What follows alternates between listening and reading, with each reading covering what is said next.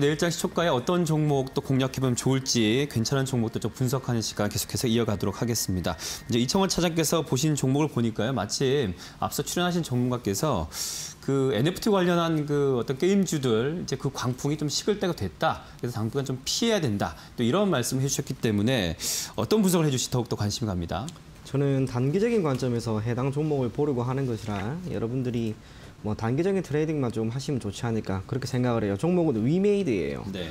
최근 3거래일 정확하게 이번 주 코스닥 지수의 흐름이 매우 좋지 않았습니다. 그런데 그 기저에는 게임주의 흐름이 매우 좋지 않았다는 것. 그래서 코스닥 지수가 좋지 않아 게임주가 밀린 게 아니라 게임은 물론이고 NFT, 기타 메타버스 관련된 기업들의 흐름이 좋지 않았기 때문에 시장이 밀린 거라고 생각을 해야겠죠. 그럼 시장이 이제 반등을 하는 그 시점은 역시나 관련된 섹터에 있는 종목들이 반등이 나오는 시점입니다. 저는 그게 오늘이 아닐까 그렇게 생각을 해요. 위메이드 같은 경우에는 오늘 장중에 9% 이상 밀렸습니다. 어제 18%까지 밀렸는데 주가가 잘 가다가 당연히 꺾일 수 있죠. 그런데 그 충격이라고 하는 것이 지속적으로 나오지는 않습니다. 분명 중간중간 반등이 나와요. 그리고 오늘 외국인이 시장 기준 장 중반 들어서 매수세로 돌아섰고 덕분에 위메이드도 결국에는 상승 마감이 되었습니다. 이제 어느 정도 조정은 마무리되었다라는 생각을 우리가 해도 괜찮지 않을까 그런 측면에서 위메이드를 조금 더 보셨으면 좋겠고 또 하나 우리가 생각할 것은 역시 코스닥 시가총액 상위 10개 종목의 변화예요. 지난해 오늘을 한번 생각해 보면 그리고 우리가 통상적으로 알고 있는 것 코스닥은 역시나 제약 바이오죠. 시가총액 상위 10개 종목 중에 5개 정도는 제약 바이오입니다. 지난해 오늘 정도 기준으로 본다면 역시 셀트리온 헬스케어와 셀트리온 제약의 시가총액 1, 2위를 차지하고 있었고 시젠, 아이테오젠, HLB가 있었습니다. 그런데 지금은 시젠과 아이테오젠이 완전 밀려버렸죠. 그리고 셀트리온 제약 같은 경우에도 시가총액 8위까지 밀렸습니다. 그 자리를 차지하는 것은 2차 전지 관련된 기업 그리고 카카오 게임즈, 포러비스, 위메이드와 같은 게임이에요. 코스닥 아, 코스피 같은 경우에는 시가총액 상위 10개 종목이 어찌 보면 우리나라의 현재 시점에서의 주력 산업군이 이것이다라고 하는 것을 표현을 한다면 그렇죠. 코스닥은 저는 결국에는 가까운 미래에 우리나라의 고부가 가치를 창출할 수 있는 섹터가 무엇인지를 보여주는 거라고 생각을 합니다. 게임이 지금 빠르게 치고 올라왔어요. 그것도 불과 6개월 정도 만에 치고 올라왔다는 점에서 이 산업군이 앞으로 조금 더 흥행할 것이다 라고 생각을 합니다. 물론 그 이후에 어떻게 될지는 모르겠습니다만 미디어, 컨텐츠 관련된 기업들이 올라올 수 있지만 그래도 시가총액 상위 10개 종목 중 3가지나 지금 자리를 잡고 있다는 점에서 관련된 산업이 단기간에 어, 마무리가 될 것 같지는 않습니다. 음. NFT 관련된 세금, 게임 산업에 대한 규제, 그 노이즈가 저는 충분히 지금 3거래 동안 묻어났다고 생각을 해요. 기술적으로 보더라도 지금 노란색 이평선이 보일 겁니다. 20이평선은 오늘 깼지만 다시 올라왔어요. 만약 내일 시장이 반등을 한다면 아마 위메이드를 기반으로 하고 있는 게임, NFT, 메타버스 이번 주에 좋지 않았던 그쪽 섹터에서부터 반등이 나오지 않을까 그렇게 생각을 합니다. 그래서 위메이드 같은 경우 내일 개장과 함께 여러분들이 매우 낮은 비중으로 한번 담아 보시고요. 목표 가격을 대략 25만 원, 손절 가격을 15만 원 정도 잡고 대응하시면 괜찮지 않을까 그렇게 생각이 됩니다. 알겠습니다. 이제 빠진 줄 알았는데 좀 순환매적으로도 봐도 될 것 같네요. 게임 메타버스 위메이드를 필두로 해서 다시 한번 반등 나올 거다라고 했는데 지켜보시기 바랍니다. 그럼 황윤섭 대표님 내일 사갈 만한 종목은 뭐가 있을까요? 네, 저는 이제 두산중공업이라는 종목을 하나 말씀드리려고 합니다. 오늘 뉴스가 나왔는데요. 그러니까 현 정부에서 탈원전 정책을 추진한다는 건뭐다 알고 계시는 부분이고요.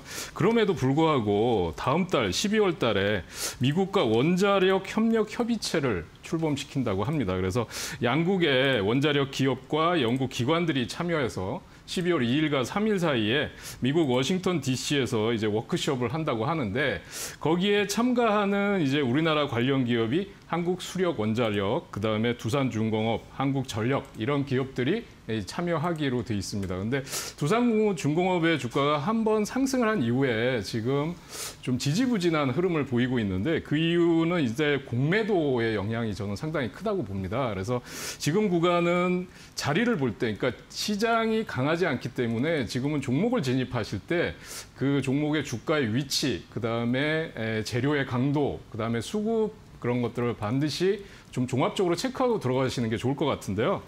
그래서 지금 두산중공업은 작년 6월에 조달한 그 3조 원 그 차입금 중에서 2조 원을 상환을 했고요.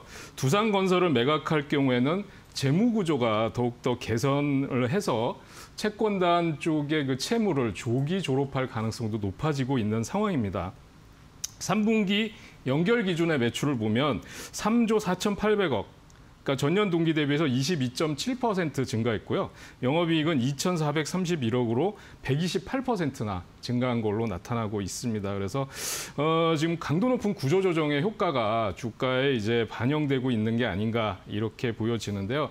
제가 한 가지 이제 지금 이 대선 내년도 3월 달에 대선을 앞둔 정책주로서 이제 그 원전 관련주들을 주목하신 분들, 그 다음에 원전주 중에서도 두산중공업은 왜 이렇게 무겁냐? 다른 종목들은 어, 상당히 좀 뭐 한정 기술이나 뭐 이런 종목들, 그 다음에 어, 이런 종목들은 우리 기술 이런 쪽들은 상당히 강한데 이제 중소형주들과 비교하면 주가의 흐름이 조금 답답하게 느껴질 수는 있습니다. 그러나 지금 구간에서는 저는 단기적으로도 10%에서 20% 가까운 수익을 낼 수 있는 자리로 보여집니다. 그래서 특히 이제 대선이 본격화되면서 어, 대선 정책주로 부각될 가능성이 높아지고 있는 상황으로 보여집니다. 오늘도 외국인과 기관은 최근에 좀 매도를 하고 있습니다만 외국인들의 매수세가 강하게 들어오고 있는 걸로 보여집니다. 그래서 어, 이제 공략할 시점이 내일 시초가에 공략을 한다면 어, 직전 고점 부근에 이 부근이 이제 단기 매물대로 보여져요. 2만 7천 원에서